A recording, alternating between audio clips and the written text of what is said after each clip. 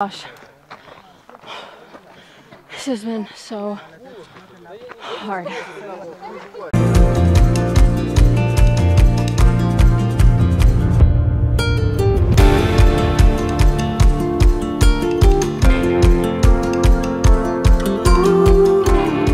we're packing up because we're hiking the Theth to Valbona Trail through the valley today, and it's a one-way hike, so we aren't staying here tonight. We have another guest house set up once we get to our destination. The hike's probably going to take us about eight hours. There's cafes along the way to stop at, and the views are going to be gorgeous, so I'm sure we'll be taking our time.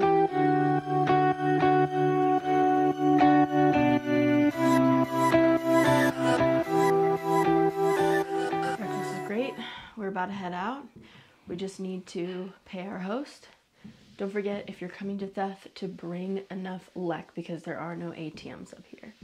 So we're walking to the church right now. We're actually meeting Thora, which is the girl who randomly started appearing in our videos yesterday. I'm Thora. we met her on the hike to the Blue Eye, and now we're gonna hike all the way to Valbona together. And we're gonna meet over there at that church.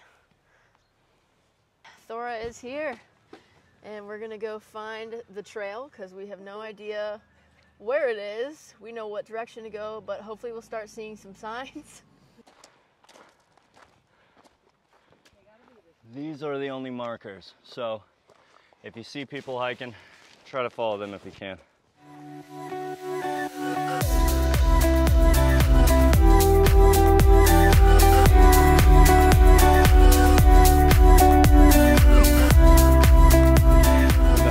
About 45 minutes to an hour, and this is approximately where we started, right there. Okay, so I know the perspective's a little bit funny, but this is what we just climbed up right here, and then this is what we gotta keep climbing. Can't imagine going down this. I feel like I one fall and then you would just slide the rest of the way down.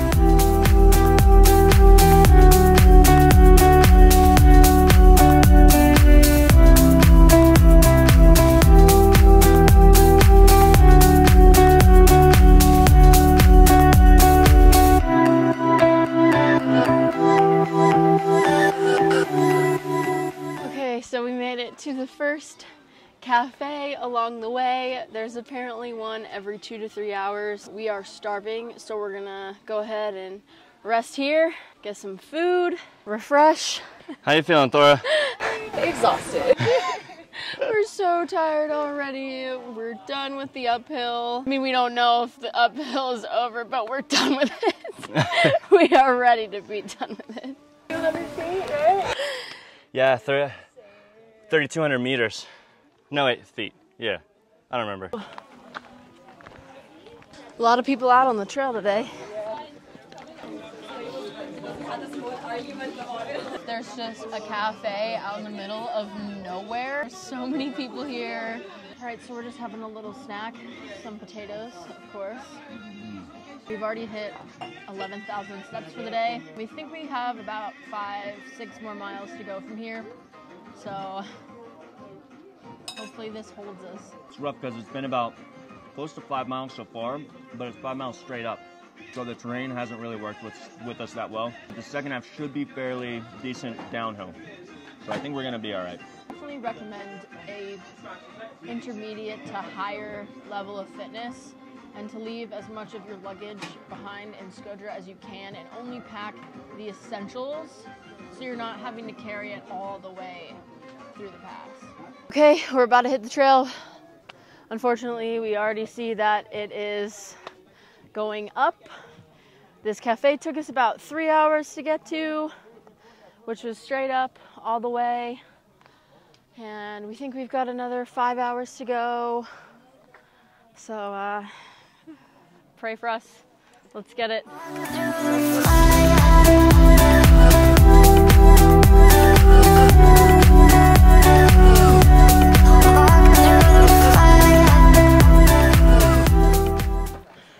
Has been so hard. We're finally to the top, so it should be downhill from here. I hope. Oh, we're not to the top. There's a bit more. This is just never ending.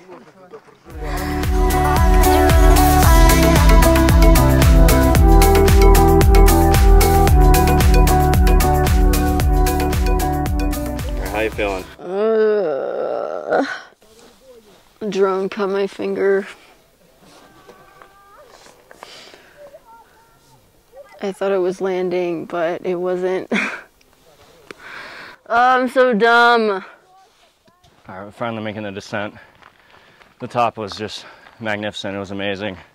Heather nearly cut her finger off though with the drone, so uh, we didn't get too much drone footage at the top, but I still think we got some pretty good shots. Definitely got to come here. The videos and pictures don't do it justice. The mountains are huge. The hike is super steep. It's been amazing.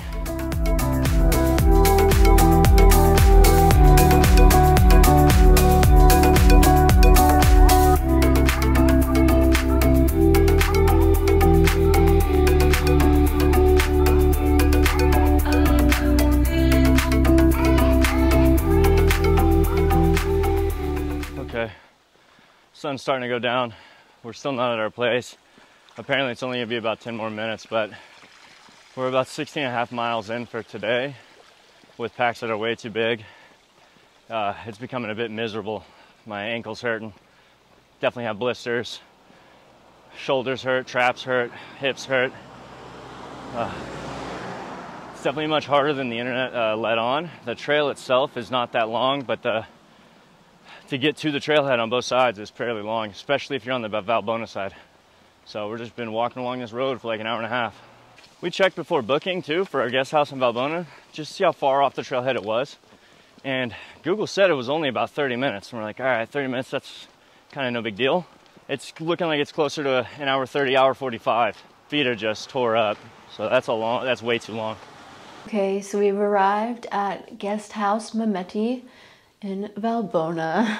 that was the longest hike we have ever done. It ended up being 17.5 miles, which is seven and a half miles longer than what the trail says online. And that's because our accommodations were pretty far away. The dinner here was so good mm, and It was so good. it was an insane amount of food. I don't think I've ever eaten that much in my entire life, but we barely had lunch today.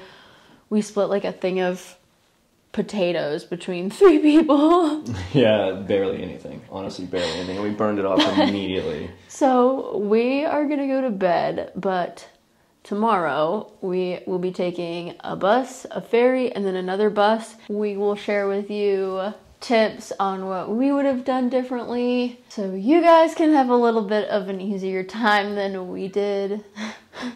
Yeah, hopefully. It was really hard. But it was worth it. It definitely was. Good morning. Good morning. Gonna have some breakfast. We're sore today. I'm tired still. The breakfasts here are just so good. And we have like honey, butter, and like two different types of jam. I don't know what they call these here, but they're kind of like uh, a beignet, tea, bread, cheese, of course. The bread is insane. And the cheese here. This is the best cheese I've had in Albania. They pretty much serve cheese and bread at every single meal in Albania, so it's really nice.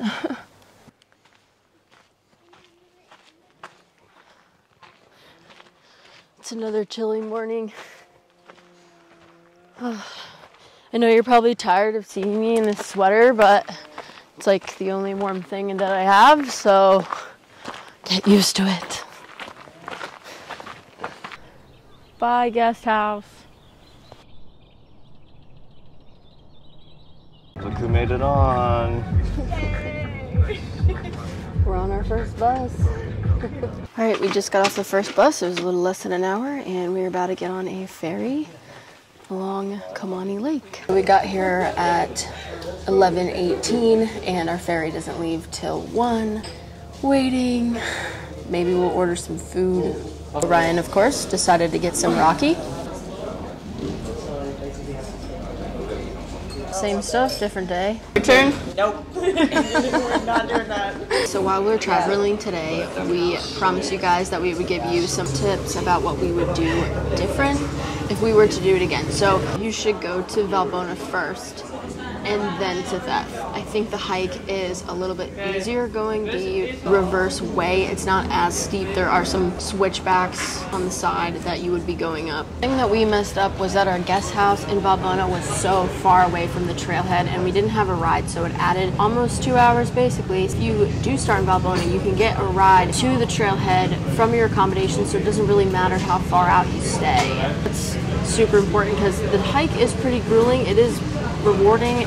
We don't regret doing it by any means, but it is really hard and just that last push along the road is pretty brutal. We actually hiked about 30 miles in two days. It's best to go to Valbona once you get to Theth, stay for three nights to give yourself a rest day in between hiking through the valley and then hiking the Blue Eye because those are both pretty long hikes. We mentioned this before, but pack light. You'll be regretting it by the first hour if you have a heavy pack. You really don't need a tour. You can do this all by yourself. Once you get to Shkodra, just book everything through them. They know where you should stay. They can give you all the tickets there and back, and it just makes everything a lot simpler and easier. Also, like we promised before, at the end of this video, we will give an entire cost breakdown of our trip from Tirana and then up to Theth and Valbona. Okay, so our ferry is here. We gotta go.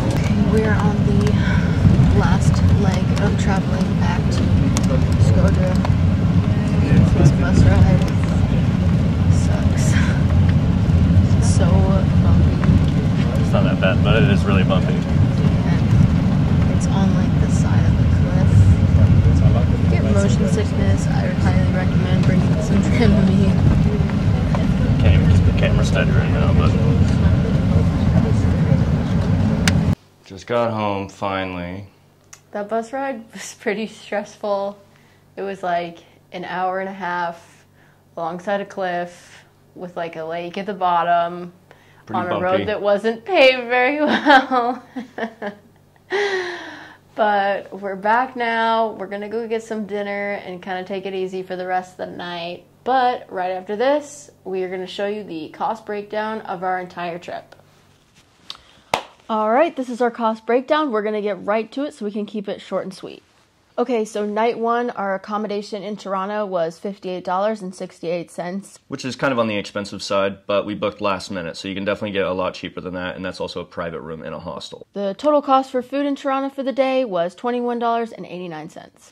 After day one, we took a bus from Skanderbeg Square to the regional bus station, which cost us 78 cents. Mm. From the bus terminal to Shkodra, which cost us $6.81 for two people. Our total amount for food for the day was $16.26. Accommodation in Shkodra for the night was $35. The van ride from Shkodra all the way up to Theth was about $12 per person, um, coming out to $24 for us. We stayed two nights at Guest House Pashko, which came out to 78.76, and that included free breakfast for both of the days. We also spent another 46.74 for four dinners because you pay per person per dinner. We also spent $10.70 and that was for several rakis, some beer, some cappuccinos. Those will not be included in the price, no matter what guest house you stay in. Our French fry lunch cost us $3.89 on the hike. Our private room, private bathroom at Guest House Mehmeti in Valbona was $42.54 for the night. Dinner at Guest House Mehmeti for two people, it was $18.70. Also, we got a free breakfast at Guest House Mehmeti as well. So, The transport from Valbona back to Shkodra gets a little bit tricky. You take a bus to a ferry, then to another bus, then finally you'll be in Shkodra, which costs about $21 per person total. It'll be three different tickets, so prices will vary ticket to ticket, but approximately $21 per person.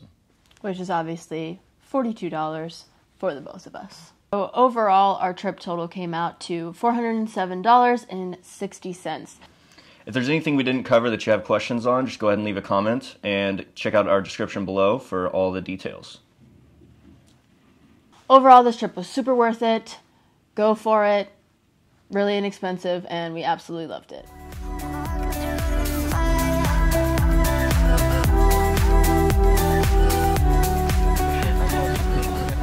I don't know what else to say. I think that's good.